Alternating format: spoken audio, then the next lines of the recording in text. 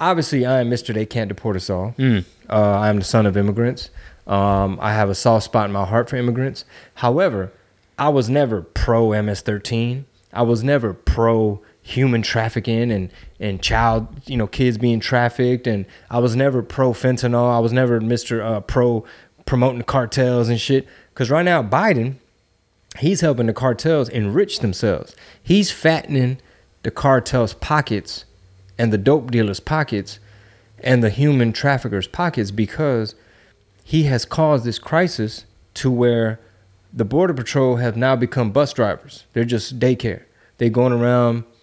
It's, it's they say it's just thousands and thousands of people not coming through a port of entry. They're just they're just exploiting the fact that uh, Biden said y'all quit building the wall, so you could just see where they left off on the wall, and they put a little stop sign right there, and people just whatever. And they have just rafts. They have a system. The the the coyotes have a system now with wristbands to see who paid, who hasn't paid. Um, they have a strategy where they're taking advantage of the fact that they're overwhelming the border patrol. So like they know some people are gonna get caught, and then they could let in anybody that's coming through from special interest countries, China, Iran, Iraq, etc. You know they'll smuggle them in over here.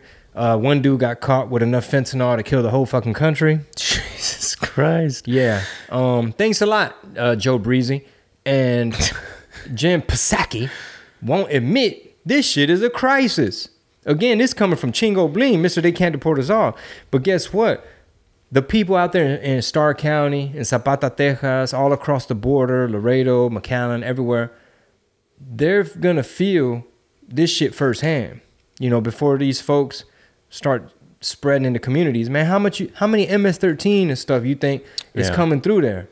And now Biden changed the rules to where if a cop calls ICE and says, "Hey, man, I got this dude. He was breaking into cars or something, and um, he has multiple illegal entries or whatever on his record. Uh, we need y'all to come get him. Right? We got to call ICE." ICE is like, "No, under new rules, that's not a high priority.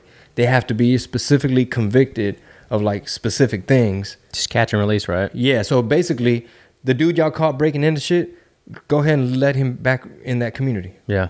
Congratulations, we got fucked.